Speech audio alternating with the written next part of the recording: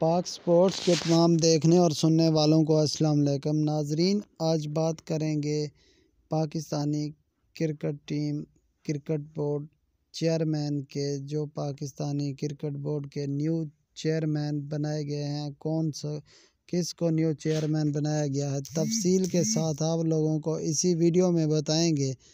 उसके से पहले अगर आप लोगों ने हमारे चैनल को सब्सक्राइब नहीं किया तो बर मेहरबानी करके हमारे चैनल को सब्सक्राइब करें, हमारी वीडियो को शेयर करें, लाइक करें और कमेंट सेक्शन में अपनी कीमती राय भी ज़रूर दिया करें।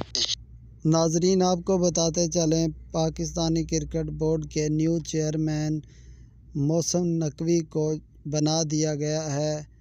वो अब पाकिस्तान टीम के और क्रिकेट बोर्ड के न्यू चेयरमैन हैं। उन्होंने बाबर आज़म को दोबारा कैप्टन बनाने का सोच लिया है बहुत तब्दीलियाँ कर दी हैं।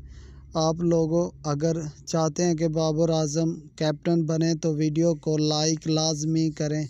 बाबर आज़म की कारकर्दगी जो बीपीएल में उन्होंने देखी है, उसे दोबारा पाकिस्तानी टीम का वर्ल्ड कप में बाबर आज़म को कैप्टन बनाने के लिए सोच लिया है।